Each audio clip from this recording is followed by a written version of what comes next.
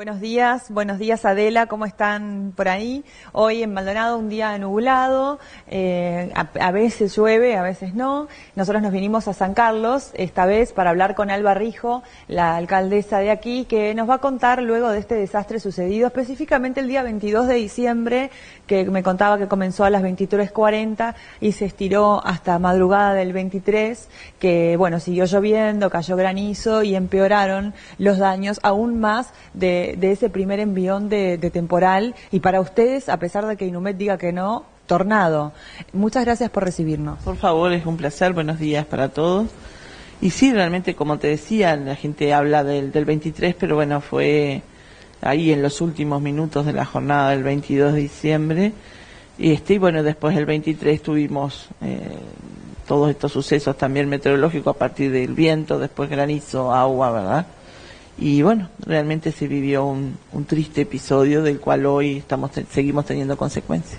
Alba, me contabas que, bueno, este, si bien varios centros de estudio fueron afectados por el clima, eh, el peor fue la escuela número 13. Sí, la escuela número 13, la escuela Virrey Pedro de Ceballos, que tiene un entorno muy grande, un barrio muy, muy grande.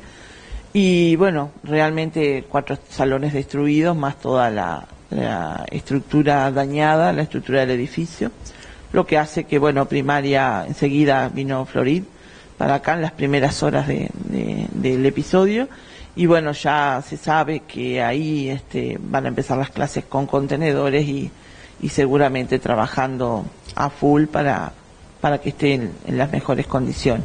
Em, una de las medidas que se tuvo que tomar, que eh, se le pidió desde el municipio, fue que eh, funcionara en la zona un centro de atención de verano, porque este, que funciona la escuela número 80, este, uno más de los que iba a funcionar, porque los niños estimamos que tienen que tener un acompañamiento psicológico en el verano, porque esa zona fue una de las zonas más castigadas.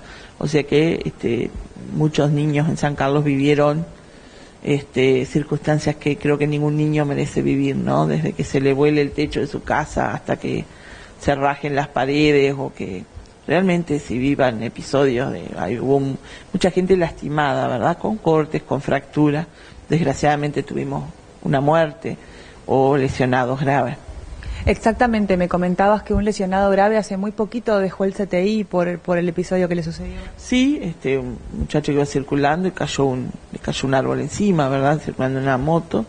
Uno hizo que, hizo que le tuvieran que hacer una neurocirugía en, en Maldonado, este, urgente bueno, una abuela que murió por salvar a sus nietos y, le cayó todo el peso de, la, de, la, de una pared encima, se la derrumbó, o, o padres que, que por proteger a sus hijos recibieron la piedra y los vidrios de, de toda su vivienda y hace que tengan este el cuerpo lleno de, de hematomas todavía.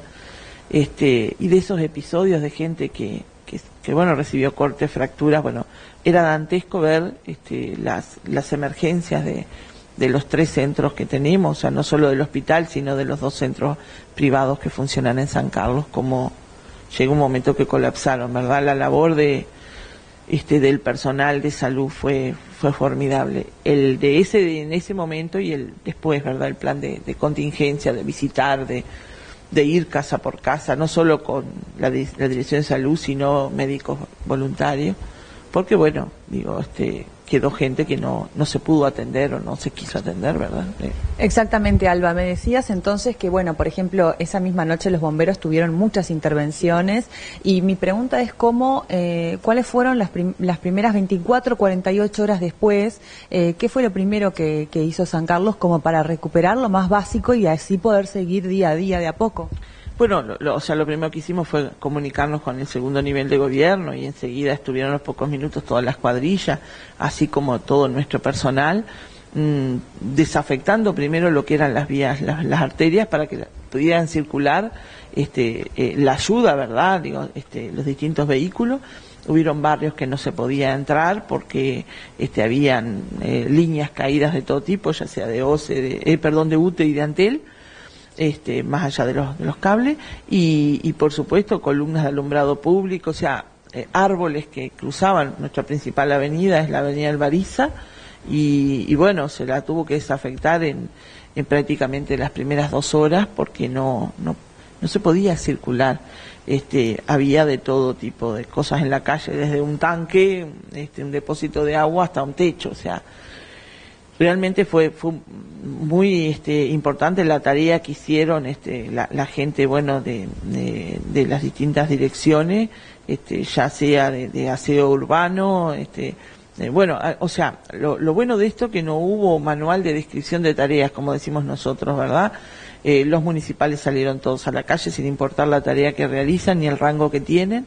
Y bueno y a eso se unieron las distintas cuadrillas se unieron voluntarios se unieron este bueno, UTE, la verdad, es, impagable el, apoyo. O sea, acá la gente trabajó 24, 25, 31, primero, o sea, no hubieron fiesta. Para San Carlos exactamente, como bien decís, no hubo festejo ni, ni hubo fiestas. A casi un mes después de, de lo que sucedió, ¿cómo me podés describir que se encuentra San Carlos hoy? Bueno, no está, digamos, cuando, cuando tengamos todas las casas este, con sus materiales y recuperadas, vamos a decir que está en normalidad. Lo que sí digo, estamos logrando, logrando en camino a, este, a recuperar. Hemos eh, llegado a más de 400 viviendas, con, ya sea con materiales o con materiales y mano de obra. Hay gente que se procuró, entre vecinos, entre familias, poder arreglar su vivienda. A eso se le lleva el material. Este, nos faltan todavía casi 100 viviendas que aún hoy o no tienen techo o tienen daños graves en sus, en sus viviendas. Hay viviendas que hay que construirlas de cero porque se desarmaron como si fuera una caja de cartón. También les digo que este, em, a su vez no solo con materiales, sino que hubo que acompañar ese plan de, contingencia de apoyo enseguida con lo que es colchones, ropa de cama, este, alimentos, eh, eh, productos de primera necesidad en cuanto a limpieza.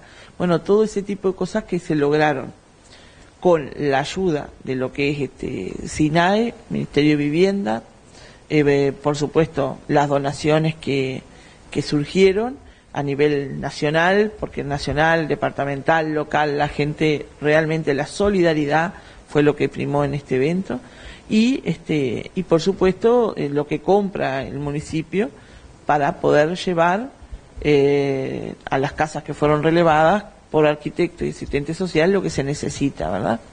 Este, yo quiero destacar eso, primero que nada, la, la organización del Comité Local de Emergencia que funcionó, cada organismo supo lo que tenía que hacer, ¿verdad? Acá hubo desde el ejército, como te dije recién, salud, eh, organismos públicos, este, por supuesto, eh, todo lo que es, a ver, hubieron, la gente del Zunca con sus cuadrillas solidarias que cortaron su licencia para poder venir a trabajar en vivienda. Hoy por hoy todavía se está trabajando en algunas viviendas, sobre todo se primó en madres solteras, gente con discapacidad. Bueno, a esos hay que este, darle no solo los materiales, sino la, eh, la mano de obra. Nosotros lo que hemos tenido, sí, el recaudo de no recibir dinero. Nosotros no recibimos dinero. Todas las donaciones que vienen, generalmente viene un representante a traer la donación y es acompañado por un técnico nuestro a la barraca a comprar material. O sea, no se ha guardado ningún dinero y eso es bueno y lo explicamos siempre en todos los medios de prensa. Eh, tenemos una lista de elementos de construcción, de materiales de construcción que estamos necesitando. Hay barracas conocidas que están dando una mano, que ya tienen esos elementos a mano para poder este, eh, procurarlos lo más rápido posible. También como teníamos la licencia de la construcción, había dificultad para conseguir materiales, porque desgraciadamente también Rocha este, y algunos departamentos del Uruguay se fueron afectados. Entonces realmente este eh, funcionó y está funcionando el comité de emergencia en forma muy, muy buena. Bien, bueno Alba, muchísimas gracias por recibirnos, por brindarnos toda esta información de cómo está San Carlos a casi un mes después de, este temporal, de esta tormenta fuerte que sucedió, que arrasó con todo por aquí, por la ciudad, y felicitarlos por, bueno, cómo enfrentaron eso, ¿no? Frente a estas circunstancias que uno no puede evitar porque está fuera de las manos de nosotros, cómo reacciona entonces el resto de la gente, del pueblo y la solidaridad uruguaya que destacás.